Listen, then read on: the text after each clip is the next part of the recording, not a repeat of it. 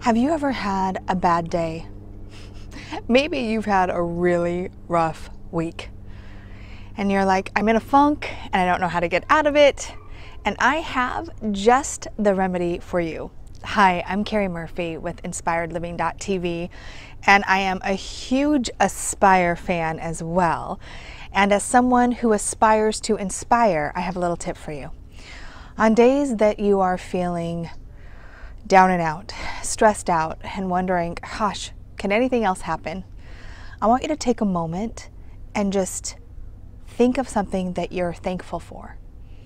See, when we are truly grateful, and you've probably heard this a million times, but when you really practice gratitude, you feel the feeling of being grateful, of being thankful for things in your life, whether it's your family, your job, your health, the roof over your head. I know personally, I am so, so fortunate to have the life that I have. And it's not about having things, but it's about being healthy and realizing that with over 7 billion people in the world, there will never be another one of you. You alone are a miracle. You alone are something to be grateful for. So if you're having a bad day, I suggest you take a big deep breath in and think about all the things you have to be grateful for because what you focus on is what you create. Cheers.